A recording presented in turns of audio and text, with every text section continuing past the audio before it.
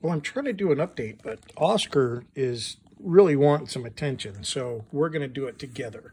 Um, so this is what I did yesterday. I worked on this lower part quite a bit. And also I did a bunch of stuff that you can't really see on here much, but like these brackets in here and stuff. And just try to make it look structurally somewhat realistic. And um, I got these hangers here because with the hydroponics, I'm going to have a bunch of like water lines and, you know, the trays down here for the hydroponics and all that kind of stuff. So, um, yeah, I kind of kind of did a bunch yesterday. And, and then this whole area back in here, this is all um, like carved out. There's like a big room in there now. So got a bunch of stuff to do today, uh, but it was a fun yesterday.